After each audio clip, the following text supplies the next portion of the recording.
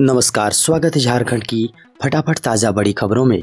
पहली बड़ी खबर, झारखंड में पिछले 24 घंटों में छः हज़ार आठ सौ निन्यानवे नए कोरोना पॉजिटिव एक सौ उनतीस की मौत। दोस्तों, झारखंड में बीते 24 घंटों में एक सौ उनतीस कोरोना संक्रमित मरीजों की जान चली गई है, जिसमें अकेले रांची से 38 मरीजों की मौत हो गई है। इसके अलावा पूर्वी सिंहभूम में 22, धनबाद में 12, रामगढ़ और सिमडेगा में सात सात हजारीबाग में छः देवघर गिरिडीह जामताड़ा और खूंटी में चार चार गढ़वा गोड्डा कोडरमा लातेहार और पलामू में तीन तीन लोहरदगा में दो गुमला पाकुड़ सरायकेला और पश्चिमी सिंहभूम में एक एक मरीज़ की मौत हो गई। झारखंड के मुख्यमंत्री श्री हेमंत सोरेन ने संजीवनी वाहन को हरी झंडी दिखाकर किया रवाना। झारखंड के मुख्यमंत्री श्री हेमंत सोरेन ने संजीवनी वाहन को हरी झंडी दिखाकर रवाना किया। उन्होंने कहा, मरीजों को ऑक्सीजन की नहीं करनी है चिंता। रांची के अस्पतालों में ज़रूरत पड़ने पर तत्काल ऑक्सीजन की आपूर्ति करने के लिए संजीवनी वाहन का उपयोग होगा। उन्होंने कहा, धनबाद और जमशेदपुर में भी जल्द शुरू होगी इसकी और सेवा। संजीवनी वाहन 24 घंटे सातों दिन ऑपरेशनल मोड में कार्य करेंगे उन्होंने ट्वीट करके कहा कि अस्पतालों में ऑक्सीजन सप्लाई को लेकर दिक्कत न हो, इसलिए संजीवनी वाहन के रूप में एक नई पहल शुरू की गई है। अभी रांची से शुरू कर इसे जमशेदपुर और धनबाद में भी शुरू किया जाएगा। अस्पताल को किसी भी समय ऑक्सीजन सपोर्ट की ज़रूरत पड़ने पर जीपीएस युक्त इस वाहन को सपोर्ट हेतु भेजा जाएगा। बीसीसीआई ने किया बड़ा फैसला। आईपीएल अनिश्चित काल के लिए हुआ स्थगित। इंडियन प्रीमियर लीग के चौदहवें एडिशन को फ़िलहाल के लिए स्थगित करने का निर्णय लिया गया है। कुछ देर पहले बीसीसीआई के अधिकारियों की बैठक खत्म हुई। आईपीएल स्थगित, आज का मैच भी नहीं होगा। बाकी फैसला अगले सप्ताह किया जाएगा। बीसीसीआई के उपाध्यक्ष राजीव शुक्ला ने इस बात की जानकारी दी है कि इस सीज़न के लिए टूर्नामेंट को स्थगित करने का फैसला लिया गया है।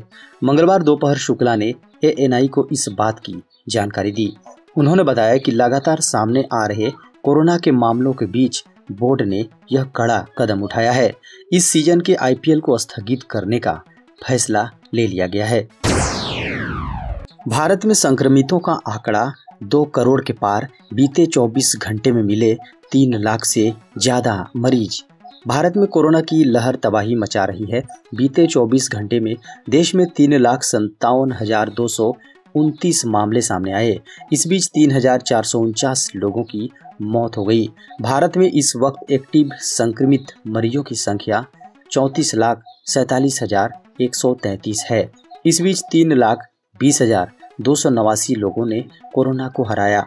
चिंता वाली बात यह है कि देश में कोरोना संक्रमितों की संख्या अब तक दो करोड़ का आंकड़ा पार कर गई है। बिहार में 15 मई तक टोटल लॉकडाउन, ऑफ़िस बंद रहेंगे, पाबंदियों के साथ होगी शादियाँ। बिहार में आगामी 15 मई तक टोटल लॉकडाउन का ऐलान किया गया है। मुख्यमंत्री नीतीश कुमार ने अब से थोड़ी देर पहले ट्वीट कर इस फैसले की जानकारी दी है। लॉकडाउन को लेकर विस्तृत गाइडलाइन शीघ्र जारी की जाएगी। सीएम ने इसके लिए आपदा प्रबंधन समूह को निर्देश दिया है। बता दें कि बिहार में कोरोना के बढ़ते मामलों को देखते हुए हाईकोर्ट की कड़ी प्रतिक्रिया आई थी और राज्य सरकार से तत्काल ज़रूरी कदम उठाने को कहा गया था। बताया जा रहा है कि राज्य सरकार के सभी कार्यालय बंद रहेंगे, सिर्फ़ आवश्यक सेवाओं के कार्यालय खुले रहेंगे।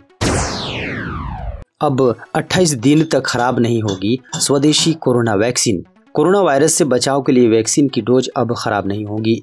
हैदराबाद स्थित भारत बायोटेक ने वैक्सीन के स्टोरेज को लेकर कुछ अहम बदलाव किए हैं, जिनके अनुसार अब चार घंटे नहीं बल्कि पूरे 28 दिन तक बची हुई डोज का इस्तेमाल किया जा सकता है।